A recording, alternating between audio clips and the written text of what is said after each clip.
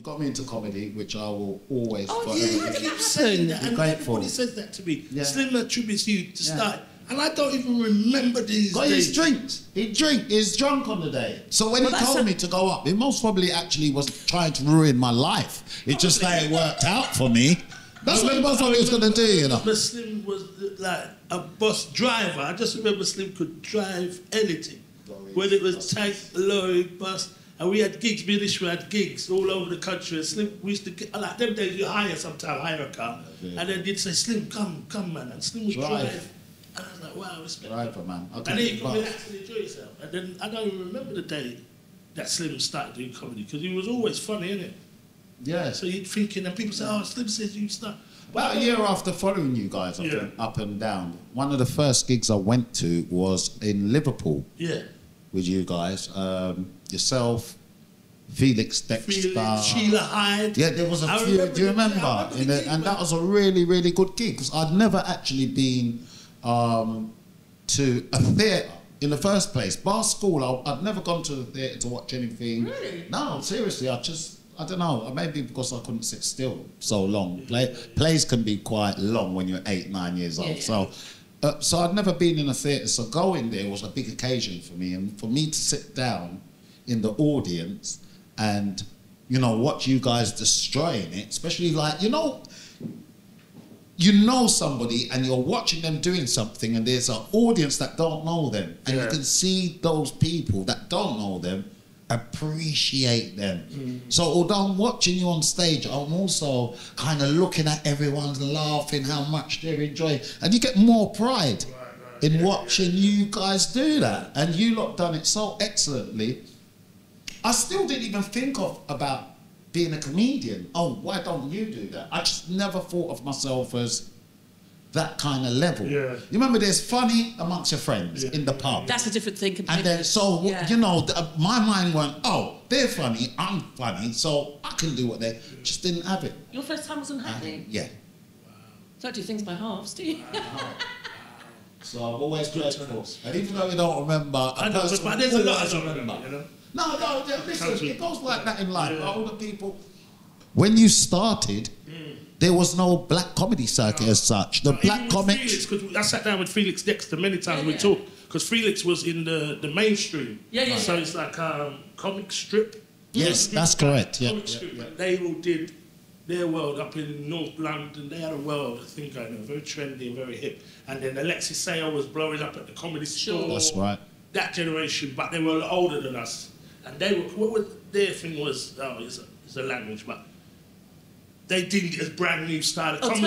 Alternative. Alternative, yeah. And we used to look at that and say, boy, you want to come and see where we're performing to see really alternative comedy. Because it wasn't that far removed from what we'd been watching on telly, what they were doing, because it's a group of white people Yeah, yeah. being funny to a group of white people.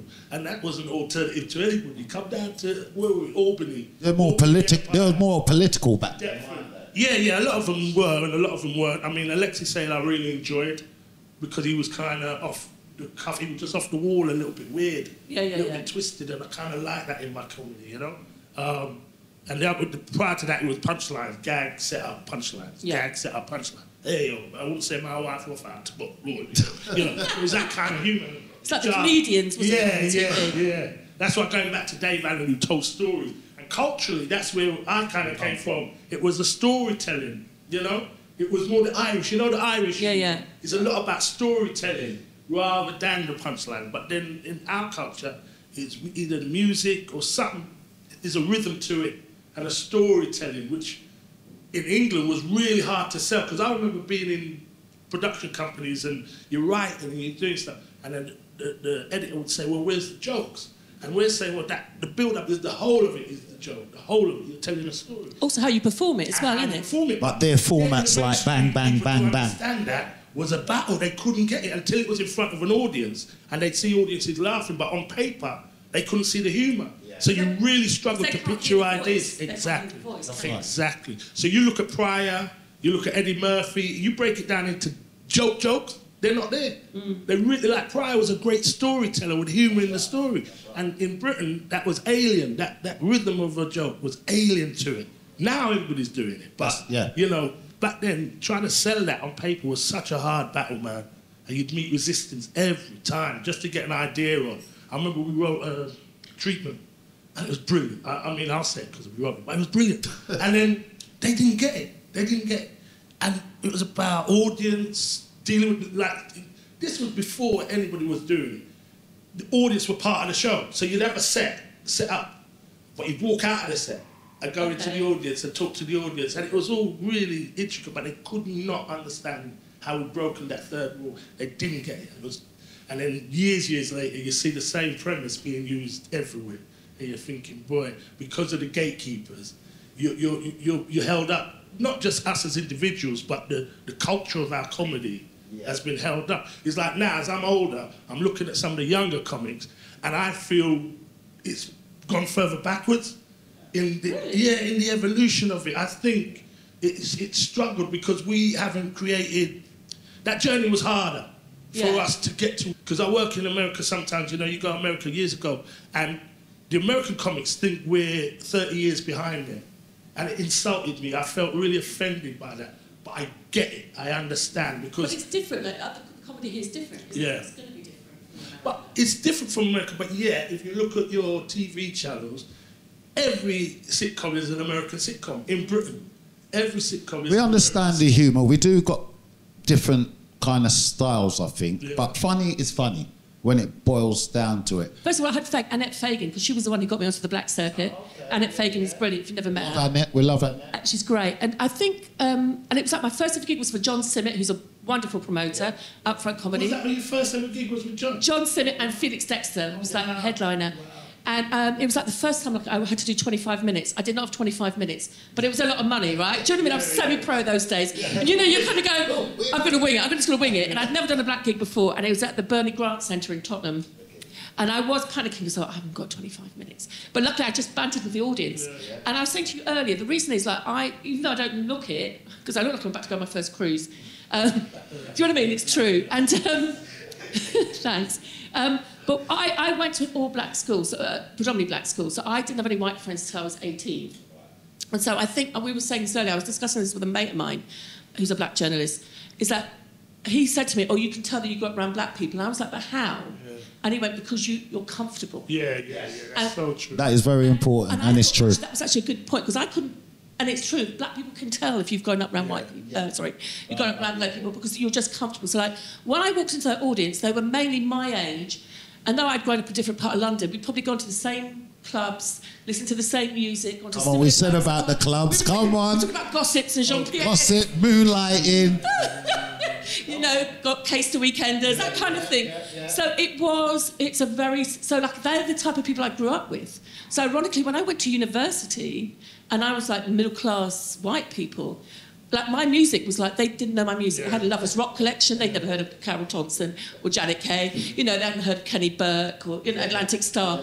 You know, so it was my kind of. So I actually feel quite comfortable in that situation, and I think that's what people know. They when I walk on stage, they think, "Oh, management." You know, I'm going to go uh, car, Volvo's, double parked it. You know, because they look at me as I say. You've had problems getting into Oh, yeah. venues, haven't you? Uh, yeah, you were there. I was doing a big gig at O2 at the Indigo, and security wouldn't let me in because they didn't believe I was one of the comics because I was the only woman on the bill. Yeah. I think White It was Yard Af- the other white. Africa versus Af- the West something like Indies. African Jamaica, or something stupid like that, and um, they wouldn't let me in. How does that work? Who are you representing? Honestly, this was because they didn't tell me it was called that because I would have pointed out that there's Yeah. something wrong with that. They told me it was like comedy wahala, which is fine, right? I get then it's like Jamaica versus Africa. So they spent half an hour going Jamaica versus, you know, all Yeah, this stuff. yeah. They go, first act. I was the first oh, act, Oh, wow. right? Representing Team Jamaica. And in my head, I'm thinking, what, during the colonial period? Do you know what I mean? It's, do you know what I mean? It's like, wasn't it? It's South London. It's like there's, there's a shortage of Jamaicans in, Yeah, in yeah. South London. It's like, Wow. I was just like, And you smashed it, didn't And you? I like- I knew it. I loved And I it. was like, why? Why have you called it this? Or why have you booked me for like Jamaica versus? What am But I see, the white attitude, the why have they called it this? I know I'm coming. They should It's a lot of money. It's a lot of money, isn't it? I'm going to turn down the money. No, but like. Uh, I couldn't get in, so I'm panicking. Thinking, this is a lot of money, isn't it? And honestly, security laughed loved my face when I said because I think they thought I was just some middle-aged white woman trying to get in for free. You Like, tried to blag it. I could not get in. It was hilarious. And it's happened to me like a couple of times. I remember once I said to security, I went, look, I'm the white woman on the poster. He went, you can't say that. I went, no, no, I can say it. You can't. And they radioed through the white woman on the posters here. We've got the white woman on the poster. In lockdown, it taught me how hard the socials are. I had no respect for those com- comedians who did it all online. I had no respect for them, really, I'm going to be honest. But then when lockdown happened and everybody was having to get online to generate some kind of income, I realised you have to have It's the energy. work. You have to get up in the morning with an It's a lot of work. be creative straight away and then do all the effort it takes to put the camera there, to put the costume or get dressed, get the mindset right, and do it if you're going to do it well. No, if it's you know what done I mean? well, It's you a lot of cannot knock, knock it. So I come out of lockdown with a lot more respect for them. Still can't do it, but I've got a lot more respect for them, boy. Like, damn, that's a lot. But also, alternatively, like people who do this social media stuff, Yeah. Then they try and go on stage, and it's a completely different thing. Because to hold an audience, Yeah, uh, you know, some of these gigs are really big gigs, you know, O2, whatever. It, it, you know, it's, it takes That's a- years 'cause of experience. It's a skill, isn't It's it? And skill. that's what I think. Once you've, because people come and see you because you've been online and you've got hundred thousand followers, and then you get on stage and you've probably got two minutes of material, but you're booked for twenty-five. yeah. I've seen it so many times. I find it hilarious because I love people dying on stage, It's- and I think. I And I don't. I feel I, so. I enjoy that more. It'd be like uh, you I can't tap in. You're watching someone getting an absolute Yeah. thrashing. Yeah. You know, like wrestling, and you love stretch out your hand to get tapped in, so you can go in the ring and, and you can't do nothing. With comedy, you literally have to watch another soldier die by himself. Yeah. You literally can't save him. oh, this No, is my, I this is know. my favourite. There's nothing worse when you die and then you, you watch, you've got 18 minutes Every- left. it's- Let me yeah. tell you. You think, oh, And that's the audience. Yeah.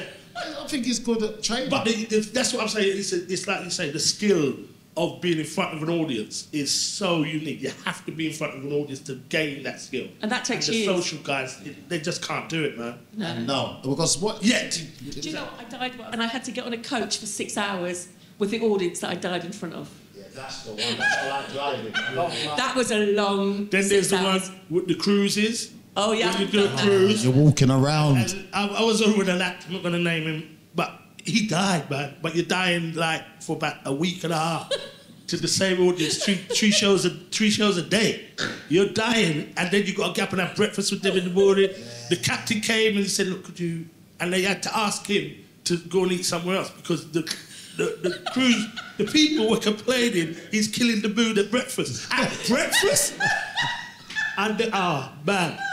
I would love to say I was there for him and supported Okay, him through it. They couldn't. Cussed. You I said, look, would you move over there? You're putting me off.